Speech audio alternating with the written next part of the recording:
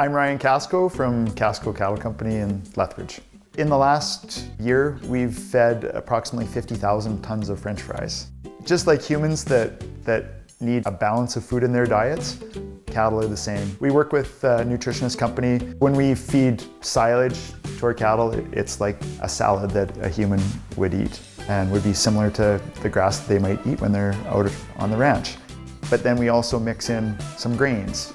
We get some starch from the french fries that we feed. And we also include minerals and vitamins and other nutrients into their diet too so that they're healthy and happy. One of the things about feeding potatoes, it adds a lot of value to our, our ration.